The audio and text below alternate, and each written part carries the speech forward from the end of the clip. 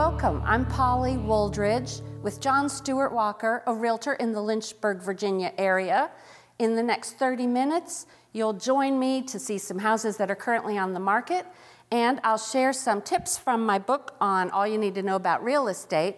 It's for buyers, for sellers, investors, and uh, we'll talk a little bit about how the market is. It's a great time right now to get into the real estate market, whether you're buying or selling, because home sales are up 5%, and the pricing is up 6.5% over last year. So it's a great time to sell your house. At the same time, rates are low. If you're a buyer, now's the time before they go up again. So join me in watching these uh, houses that are on the market, getting some tips that might be helpful for you.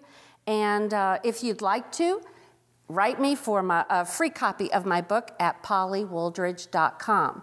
Now, check out these homes that are on the market now.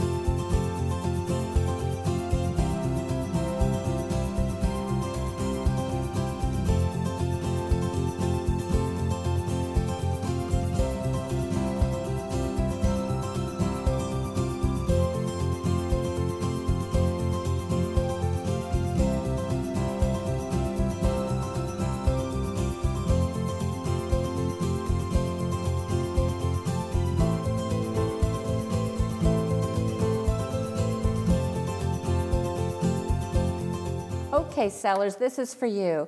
This week I listed a home on Tuesday, and on Friday we had four offers, and it sold for more than the asking price. So, isn't that what you want for your house when you're ready to sell? I think so. So, here's what you need to do.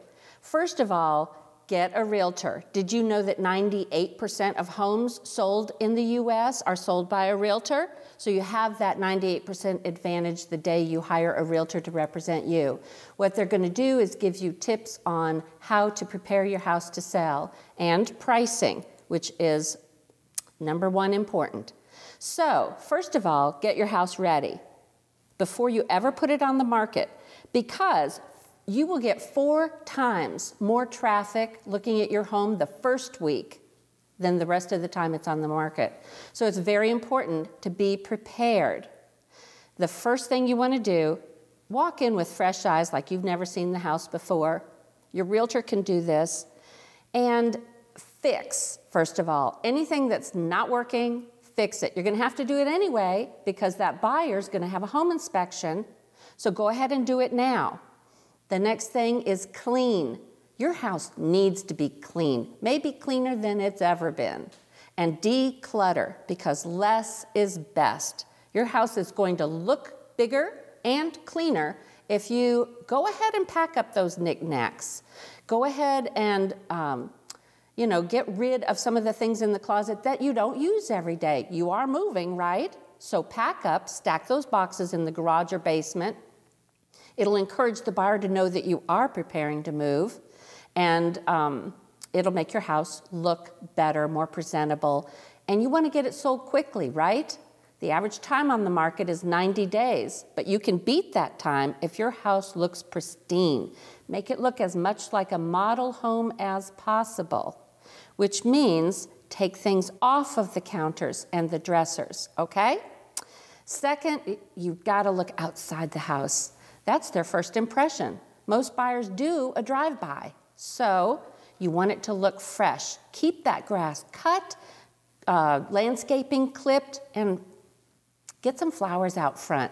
I always tell people flowers are the smile on the face of your house, and it just makes it look friendly, like I want to live there. And then think about this. If you're if you could say nothing about your house, what would it say when someone walks in? Would it say, a dog lives here? Mm, think about how your house smells, how it looks. Would it say, someone really loves and has taken care of this house? So, you want to make that right impression because you the first time that buyer walks in, that's it. They're going to judge your house, look for ways to save money, and discount the price that you've set for it. Okay, let's talk about pricing. It's got to be right. Um, there's a triangle that needs to be balanced between your location, your price, and the condition of the house. You can't change your location. You can work on the condition. So, price it accordingly. Listen to your realtor. They have access to homes that have already sold or are on the market that are like yours, and that's what an appraiser does. Your realtor will do something similar to an appraisal and price your house accurately. They should give you a range. You pick the bottom of the range, it should sell quicker, and if you pick the top of the range, it may take a little longer. So listen to them. They are your trusted advisor. They know what they're doing, they're trained to do this. And hopefully, you'll get a contract quickly.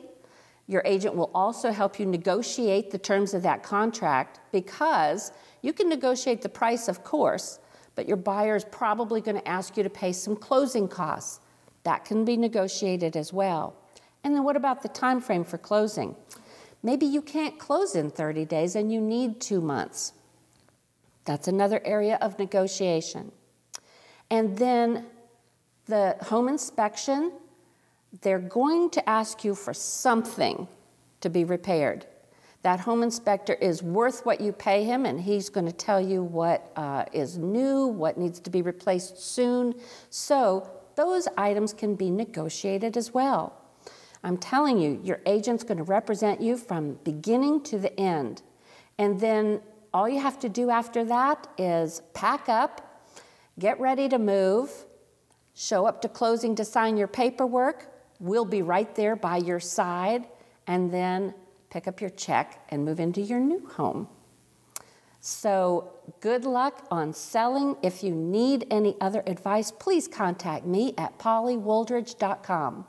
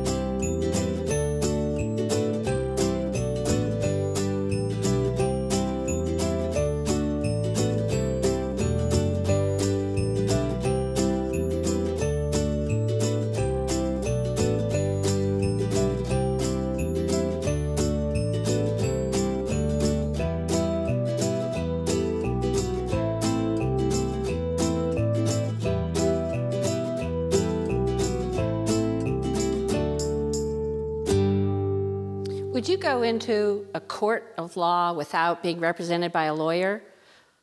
Probably not. So, why would you go into a real estate transaction without being represented by a realtor? First of all, let me explain the difference between a real estate agent and a realtor, because there is a difference. We both can sell real estate, whether you're listing or buying. But a realtor is a member of the National Association of Realtors.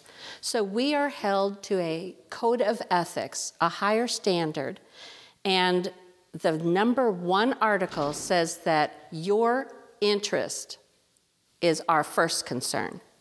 So we are bound to that code of ethics, and you're guaranteed that we're looking out for you. Now, if you're selling a home, 98% of homes sold are sold by a realtor. And on the flip side, uh, a for sale by owner, 80% of those contracts fall through. And there's a reason. It's complicated, there's a lot involved. So we take you through the entire process. And you might think, I can't afford a realtor, but homes that are sold by realtors sell for more money than homes that are not sold by realtors.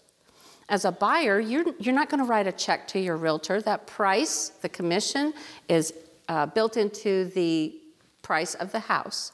So, buyer or seller, you're not writing a check for that, but you're getting represented. Uh, you're not going to pay too much for that house because we're going to guide you through that process. But on the flip side, you're going to get more for your house because we're going to price it accurately, get it sold quickly. So, how do you choose a realtor? Choose one who is an, uh, a realtor, a member of the National Association of Realtors. Choose one that has designations uh, ABR, CRS, GRI, they all mean something. I don't have to explain to you except to tell you that means we have more education um, and more years of experience. And isn't that what you want when your uh, representative is negotiating on your behalf, when you're going through all those forms? You know, even writing the contract, every word makes a difference in what's included or not included, what the contingencies are to protect you. Um, and then when you're negotiating, uh, those are some skills that experience uh, hones, and you want an, a realtor who's a professional negotiator on your behalf. And then all the way to closing. We'll explain all the steps, make sure all the inspections and reports get done, and make sure that you close on time and get what you need to get. If you're a buyer, you want those keys at closing. And if you're a seller, you want to get that check, right? So pick a realtor with designations and experience, interview a few, before you choose one. Make sure you're comfortable with that person. Um, you may spend some time with them, and you certainly need to be able to trust them. So look for one who's a realtor rather than a real estate agent. You know, Google them, find out what comes up when you Google their name. Um, nowadays, we have the advantage of online searches that tell us a whole lot. So I encourage you to get a realtor first, and then let's get going.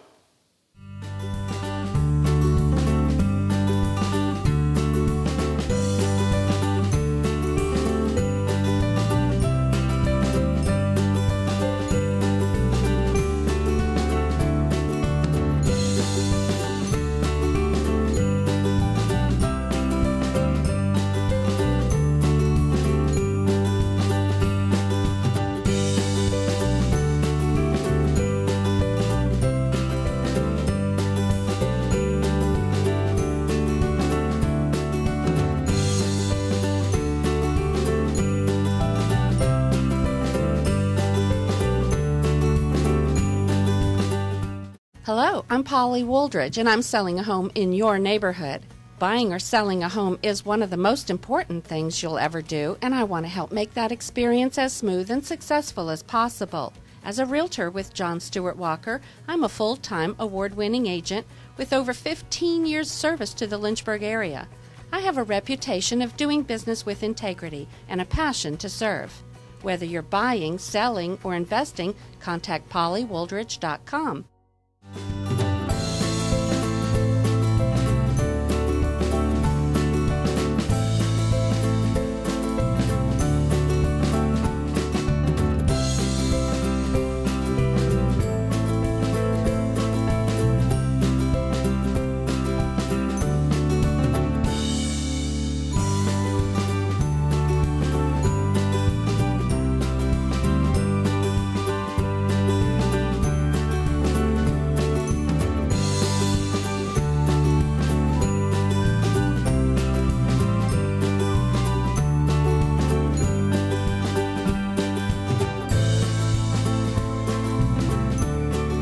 I'd like to talk to buyers for just a few minutes because there's a process that you need to go to, but there's a particular place you need to start, and that is get a realtor.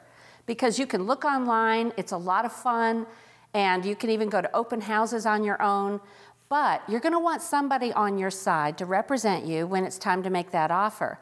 And besides that, they have access to the multiple listing service and can show you homes that maybe you couldn't find on your own. They can also show you for sale by owner homes. So, interview a couple of realtors, but make sure you pick someone that you trust and don't mind spending time with. And I have a couple other tips for you. Pick someone who's got some experience. New agents are excited and they'll give you 110%. But when it comes to negotiating, I think you might want an agent with some experience. Look for additional education, uh, designations. It's those letters that come after our name, and they mean something. Whether it's uh, accredited buyer representative, an ABR, or CRS, a certified residential specialist, you know, those things mean that we have more experience and that we also took more classes. We have more education. So look for designations because they do mean something, and it's important. You know, down the road when you're negotiating, um, maybe uh, issues come up. Sometimes that happens. I know that's a big surprise, right? But that's what we're here to help you with: is any problems that come up. So, get a realtor. Second, get a lender. Again, you can go online and check out rates and get pre approved, but let me tell you, you will get 150 million emails if you do that, which is fine, but be prepared. You want a guy or girl that you can walk in and see them face to face. You want to go in their office, talk to them. Um, th- there's a lot of uh, trust that needs to be established because you're giving them your whole life history um, and plus some. So get pre approved. They can talk to you and check your credit score and tell you how much you can afford and about what that monthly payment's going to be. So that's valuable information before you ever even go look at a house, right? You don't want to look at something that's too expensive, fall in love, and then find out you can't afford it. So do that first, and then let's go shopping. I have some tips for you. Always look for three bedrooms or more, even if you don't need three bedrooms. Uh, it's good for resale. Look for more than one bathroom. Again, you might be buying your first house by yourself, but down the road, look for two full bathrooms if possible. And then the first thing is location, because that really determines appreciation. How much more are you going to get when you go to sell that house someday? You want to make money off of it, right? Well, of course you do. So, um, your realtor can help you with location and appreciation information about different areas. And then you really have to think about how do I live? What's important to me? Do I really need to be close to the elementary school where my kids are? Maybe it's really important to have a formal dining room because you have your grandma's set and you got to have space for that. You know, it might be a yard for your pets that's fenced. But think about those things, make your wish list, and give that to your realtor. Um, the other thing is think about uh, resale and value and maybe even adding on, like an unfinished basement. If you finish that during the time that you own that house, your appreciation is going to skyrocket. And that's the idea. Maybe a walk up attic that could be finished. There's a lot of different things uh, that your realtor can show you inexpensive ways to add square footage to your house and add value. And isn't that what we all want? To add value to the biggest purchase you're going to make in your life, your home. So, get a realtor you can trust, get pre approved, and then let's go shopping.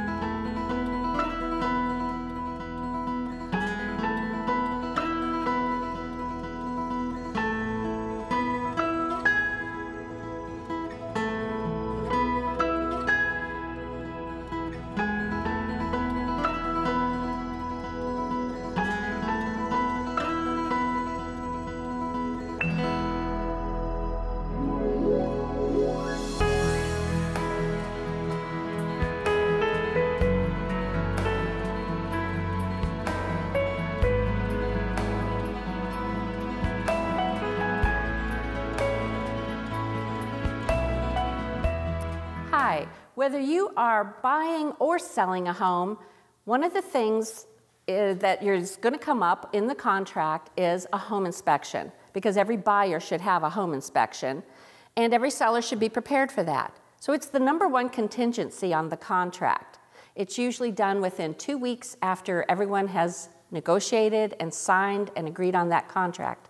So I'm here with one of my favorite home inspectors, Chuck Haggerty, with JF and Associates Home Inspections. And I thought Chuck could share his insight into uh, why do a home inspection and what he looks for, and maybe some of the, maybe even an interesting what you found, I don't know, one day. So. Oh, I could take up the rest of the afternoon with those interesting stories. But something you said earlier in your session was that uh, sometimes a seller will even have a home inspection. You were telling and encouraging the buyers, or rather the sellers, to go and have their house prepared and have it looking this way and doing that.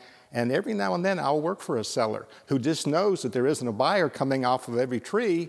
And when one comes along, you don't want to lose them. So they'll have me come in, we'll look over the house, we'll evaluate it, try to find those problems, get them fixed before, and that's a big plus. But 98% of the time, 95% of the time, I'm probably working uh, for a buyer. You know, the buyer finds a house, you've taken them around, shown them everything you can see, they've picked a couple out, they narrow it down to one, and then that's the point where they usually go and call me and hire me in when the contract's already been signed and they put a contingency in. We like this house, we want this house contingent based upon a home inspection. And that's whenever they hire me. And a lot of people then ask, uh, how old does a house have to be before you recommend inspecting it? And they think that the older houses are going to be the more problematic ones. And in sometimes that's the case. But I'll tell you, in over 20 years of doing this business and almost 7,000 houses, the two worst I've ever looked at yet, one was brand new and one was a year old. Wow. So you can get some big structural problems sometimes if you get a builder or a contractor in doing a house. He thinks he knows what he's doing and he doesn't. So these were some big problems I've seen. Now, older houses have a whole different dimension, of course. They have the water damage, they have the time problems, sometimes they have termite or bug problems. So, bottom line, you basically want to get them all inspected. You know, you just don't know. Brand new houses, they have to have code inspections, but those are sometimes pretty quick. And we come into a house, a home inspector comes in, he does a non invasive, comprehensive evaluation of the house. It's top to bottom. He's looking at the roof. He's looking at the outside, the windows. He's up in the attic if he can get in there safely. Uh, each room throughout the house, you just take your time and work your way through it. You're down in the basement. Sometimes you find the big structural things down there. You're looking for the water problems that everybody's always concerned about, stuff like that. Uh, and then you're looking at all the systems heating and cooling, electrical, plumbing. Uh, it's a very thorough evaluation of the house. Now, it's a non invasive evaluation. You can't go cutting holes and disassembling things, obviously, uh, but you do the best you can visually. And how should they pick their home inspector? Uh, primarily, when people call on the phone, they'll always say, first thing, hey, I need a home inspection uh, the house is this big, how much do you charge? Because we're all geared for that. You know, we all have to be concerned about our finances, of course. But when people ask primarily the very first question, how much does it cost? That's a good question. But the better question is, how long have you been doing this? How many have you done? How much experience do you have? What's your background? What professional affiliations do you have? Ask about your inspector because we're just getting to the point in Virginia, you know this, in July 1st, where they're going to require home inspectors to be licensed. But for the past 21 years that I've been doing this, you didn't have to be licensed. And we had people come and go, some of them more qualified than others. So find somebody who's uh, got the experience. And what I like about Chuck is he doesn't mind the buyer following him around. He's going to educate you on what he's looking at and what he's doing. So, do you, is that okay with you? Oh, that's that's a good idea. Just yesterday, even uh, two houses I did. The one in the morning was a big house, a professional man buying it. He was a medical doctor. Uh, he had the time. He tagged along with me for almost three and a half hours on that house, asking questions. Now, he had experience in houses, so his set of questions were different than my next client, who was a young couple, first house. I always encourage them to come along because you're going to get some, uh, uh, some lessons, some teach you some things you may not have known, uh, show you what I'm doing. You'll understand the whole process better. You'll understand your house a whole lot better if you, if you can tag along with me. And tell them how to get in touch with you, Chuck. jfainspections.com is the best way. jfainspections.com. We've got an auto scheduling feature on the website. You can get on it. You can click on the schedule link. You can see when I'm available, pick a time, give me some information, get a price, and lock it in. jfainspections.com. Thank you, Chuck. I appreciate well, your valuable you. information. Thank you, Polly. Always good to see you at houses.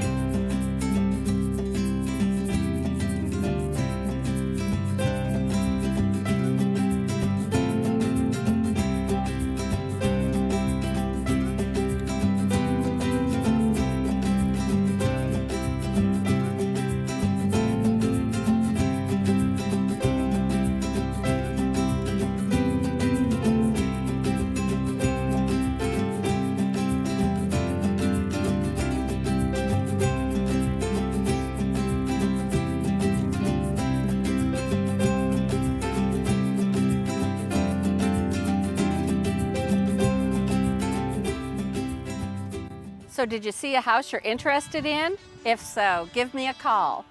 And if you'd like to get a copy of my free book, just contact me at pollywooldridge.com And look out for the car around town. Post it on Where's Wooldridge, wherever you see the car, and there's a drawing every week. I'd love to help you buy, sell, or invest. So give me a call, and I'll see you soon.